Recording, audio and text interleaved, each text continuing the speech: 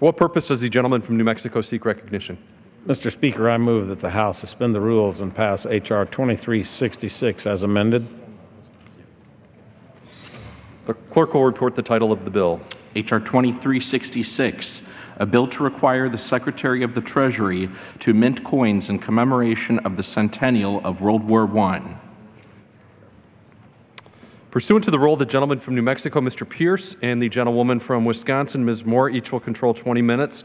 The chair recognizes the gentleman from New Mexico. Thank you, Mr. Speaker. I ask unanimous consent that all members may have five legislative days within which to revise and extend the remarks and include extraneous materials for the record on H.R. 2366 as amended currently under consideration. Objection. And, Mr. Speaker, I yield myself such time as I may consume. Gentleman from New Mexico is recognized. Mr. Speaker, a few short weeks ago, the world marked the 96th anniversary of the signing of the peace accords between the Allied forces and Germany that ended what at the time was called the Great War.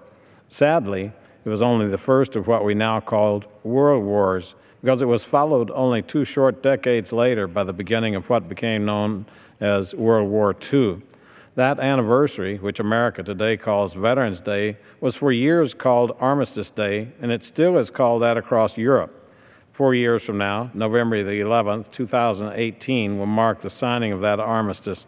It will be 100 years since the end of that ugly, bloody war that has ushered in aerial warfare, chemical weapons, tanks, and a host of other horrors. Mr. Speaker, in the ensuing century, we have not managed to move past war. It is well that we remember its cost. For that reason, I rise in strong support of this legislation before us, H.R. 2366, introduced by the gentleman from Colorado, Mr. Lamborn, along with the gentleman from Missouri, Mr. Cleaver.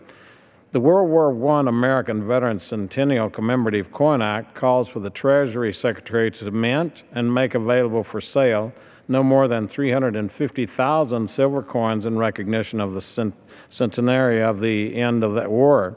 The veterans of the Great War are long gone, the last having died nearly four years ago. It is well that we remember, though, that nearly 4 million Americans, men and women, served in uniform during the First World War. Half of them served overseas, and some even volunteered to fight for other Allied armies even before the U.S. entered the war in April of 1917. Of those 4 million veterans, even those who are not students of military history know some of the names, such as General John Joseph Pershing, known as Black Jack Pershing, who led the American Expeditionary Forces in that war and became the only general of the armies promoted to, the, to that rank while he was alive. Sergeant Alvin York, was perhaps the best known and most decorated soldier who won a Medal of Honor for leading an attack on a nest of enemy machine guns at the height of the Meuse-Argonne battles in France, capturing 32 of them and 132 enemies while killing 28. James Norman Hall, an Iowa youngster, went to France before the U.S. entered the war to fly with the American staffed Lafayette escadrille on the French Air Corps and later drifted to the South Seas, where he co wrote Mutiny on the Bounty trilogy. Mr. Speaker, the coins authorized by this legislation would be sold at a price that would recoup all costs to the taxpayers. The sale price would include a surcharge that, after requirements for raising private matching funds are met, would support the work of the World War I Centennial Commission established by the 112th Congress to plan and execute activities marking the centennial of the war. This legislation currently has 302 co-sponsors, and a companion, companion bill introduced by Senator Blunt has 72. Mr. Speaker, while not celebrating this or any other war, I urge members to sober, soberly reflect on the horrors and tragedy of this first global conflict and to support this legislation. With that, I reserve the balance of my time. The gentleman from New Mexico reserves the balance of his time. The gentleman from Missouri is recognized. Mr. Speaker, I rise uh, to yield myself such time as I may consume. The gentleman from Missouri is recognized. Mr. Speaker, I rise today in support of H.R. 2366, the World War I American Veterans Centennial Commemoration Commemorative Coin Act, introduced by Representative Doug Lamborn of Colorado's 5th Congressional District, and seek its immediate passage. Mr. Speaker, as you may know, the, this summer marked the 100th anniversary of the start of World War I. The United States formally joined the war in April of 1917 During that time, 4.7 million Americans served, and of those brave men and women, more than 116,000 soldiers made the ultimate sacrifice. While other great conflicts, including the Civil War, World War II, the Korean War, the Vietnam War, have all been memorialized on the United, States commemorative coins, there currently exists no coin to honor the brave veterans of World War I. This bill would honor their service by directing the Secretary of the Treasury to, number one, hold a competition to design the coins, and number two, mint and issue $1 silver coins in commemoration of the centennial of America's involvement in World War I. The sale of the coins will assist the World War I Centennial Commission in raising funds that will be utilized in commemorating the U.S.'s involvement in the Great War and educating a new generation of Americans about the role the United States assumed uh, in that war. I'm also pleased to report that the passage of this bill entails no net cost to taxpayers. I would urge my colleagues to join me in passing this com uh, common sense bipartisan bill without further delay. Mr. Speaker, I yield back the balance of my time. Gentleman from Missouri yields back the balance of his time. Gentleman from New Mexico is recognized. Mr. Speaker, I'd like to uh, yield as much time as he may consume to the gentleman from Colorado, Mr. Lamborn. Gentleman from Colorado is recognized. Thank you, Mr. Speaker. And I want to thank my friend and colleague from the state of New Mexico for his leadership. I rise in support of H.R. 2366, which I introduced with the help of my colleague, Representative Emanuel Cleaver, which would require the Secretary of the Treasury to mint coins in commemoration of the centennial of World War I. The year 2018 will be the 100th anniversary of the signing of the armistice with Germany, marking the end of battlefield hostilities in World War I. During the war, more than 4 million men and women from the United States served in uniform, and more than 100,000 gave their lives. To honor their service and sacrifices, Congress created the World War I Centennial Commission in 2013 and tasked them with planning and executing activities in, to commemorate the centennial of World War I through the use of private donations and coin sales. By requiring the Secretary of the Treasury to mint coins to commemorate this centennial, this bill would allow us to honor the memory, service, and sacrifices of the brave veterans of World War I while also providing the means to pay tribute to the end of World War I battlefield hostilities. Other great conflicts, including the Civil War, World War II, the Korean War, and the Vietnam War, have all been memorialized on United States commemorative coins, but no such honor has been extended to the brave veterans of World War I. This year, 2014, as has been said, is the 100th anniversary of the start of World War I, making it a very fitting tribute that we pass the measure for this year. It is my pleasure to offer H.R. 2366. I am grateful for the opportunity to work with both Representative Emanuel Cleaver and Senator Roy Blunt on this important bill.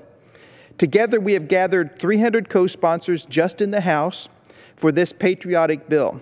It will not cost the U.S. Treasury anything, as has been said, but on a voluntary basis will actually raise money. And it's no coincidence that representatives and senators from the state of Missouri are helping on this effort. There is a wonderful memorial to World War I in Kansas City, Missouri, with an, with an adjoining museum that is a world class museum. And for those who haven't had the opportunity to visit that mu museum and learn about this chapter in our nation's history, I would strongly urge them to do so. I thank Chairman Hensarling and the Financial Services Committee for their support of this legislation, and I ask my colleagues to join me in honoring the brave veterans of World War I by supporting this bill. Thank you, Mr. Speak, Speaker, and I yield back the balance of my time. Gentleman from Colorado yields back the balance of his time. Gentleman from New Mexico is recognized. Mr. Speaker, I now yield four minutes to the gentleman from Texas, Judge Poe. The gentleman from Texas is recognized for four minutes.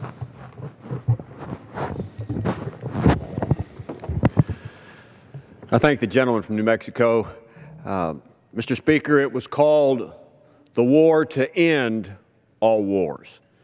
It began 100 years ago, and after three years, World War I was a bloody stalemate.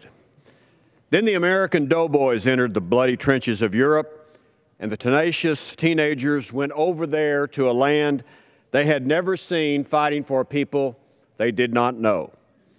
But soon after, the war turned in the favor of the Allies and the war was over. Allied victory was declared in 1918.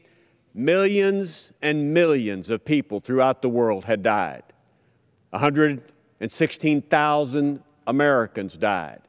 Many more thousands died when they came back to America from the Spanish flu that they got while they were overseas.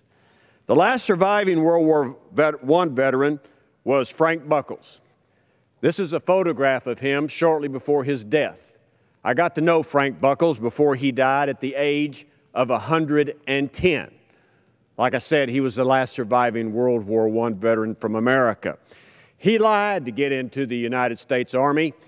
Uh, he was probably 15. He convinced some Army recruiter that he was 21, and they signed him up. He served in World War I. After World War I was over with, World War II started. And he found out that he found himself in the Philippines. He was captured by the Japanese, put in a prisoner of war camp until World War II was over. But he came to the United States Capitol and met with many members of the House and the Senate for the sole purpose of making sure that those doughboys he fought with and died were remembered by the United States Congress. Uh, his dying wish was that those he served with would be honored by the House of Representatives and the Senate. The proceeds from the sale of the coins will be used uh, for the World War I Commission to help commemorate the sacrifices of those warriors. I was privileged to be appointed as an original member of the World War I Commission and still serve on the World War I Foundation. I want to thank uh, uh, Congressman Cleaver from uh, Missouri for all the work he has done to remember those doughboys, not only in this specific bill of getting this Coin Act passed, but the original commission that you worked on to make sure that we as an American nation remembered them. And I appreciate the work that you do in Kansas City with the first class uh, memorial that we have uh, to honor those World War I veterans. Mr. Speaker, all those that served, every one of them that served in World War I, they're all gone. There are none left. Frank Buckles was the last one. But the United States World War I Commission will make sure we Americans remember and honor them. For the worst casualty of war is to be forgotten. And that's just the way it is. I yield back. From Texas yields back the balance of his time. The gentleman from New Mexico is recognized. Thank you, Mr. Speaker. I yield myself the balance of my time. Gentleman from New Mexico Uh, is recognized. First of all, thanks to Mr. Cleaver and Mr. Lamborn for bringing that, uh, this bill to the floor today, and thanks for your dedicated work on that. Uh, Thanks to Mr. Poe. Uh, Around here, we just simply know him as Judge, Uh, but thanks for his poignant comments. Uh, As a Vietnam veteran returning to the United States in the, in the 1973 era, I found a nation that was disrespectful to young men and women who had served, uh, myself included. Took my uniform off and put it in a closet, never to pull it out uh, till I ran for Congress, and people began to ask why I didn't tell about the military story. That's something that uh, a condition and a mindset that I think that need, no matter how you're registered, no matter what culture you're in, what race, what religion, we must never let this happen again. We must be willing to sacrifice for those who have sacrificed for us and those who've been willing to make the sacrifice. My grandfather was in World War I. Uh, as I was approaching my time to go to Vietnam, he visited with me about being in the Argonne Forest and about being gassed there. Uh, condition uh, left him with a lung condition uh, and uh, frailty throughout the rest of his life. But he never uh, was sorry for serving, never was sorry for those things that had happened to him. It's young men and women who are willing to do anything for others' freedom that we're honoring here today. And again, I would urge all to support this legislation. It's a noble concept and a noble tradition of remembering those who have served this country in the military. And with that, I yield back the balance of my time. Gentleman from New Mexico yields back the balance of his time. The question is, will the House suspend the rules and pass the bill H.R. 2366 as amended? Those in favor say aye. Those opposed, no. In the opinion of the chair, two-thirds being in the recorded vote. affirmative. On that, I'd request a recorded vote. Does the gentleman ask for the yeas and nays? I ask for the yeas and nays. The yeas and nays are requested. All those in favor of taking this vote by the yeas and nays will rise and remain standing until counted. A sufficient number having risen, the yeas and nays are ordered. Pursuant to Clause 8 of Rule 20, further proceedings on this question will be postponed.